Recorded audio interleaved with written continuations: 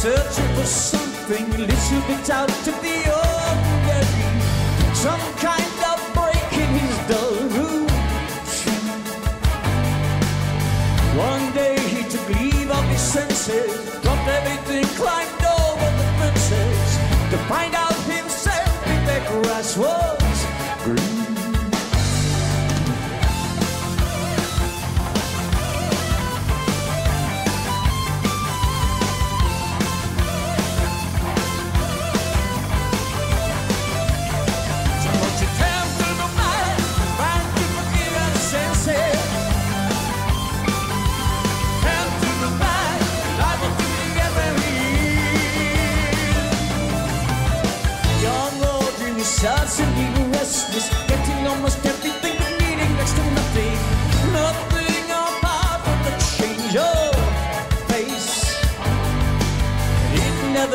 combine